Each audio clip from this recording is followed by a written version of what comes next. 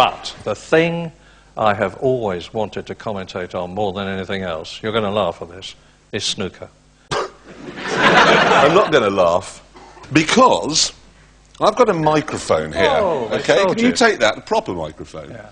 And we've got a clip here of some snooker.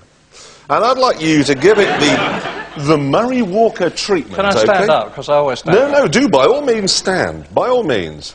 Can we run this clip then and, and let's have Murray's interpretation of it?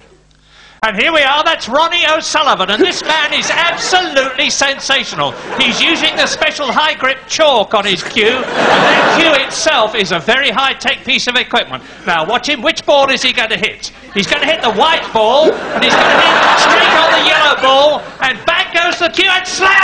He's missed it! He's missed it! Fantastic!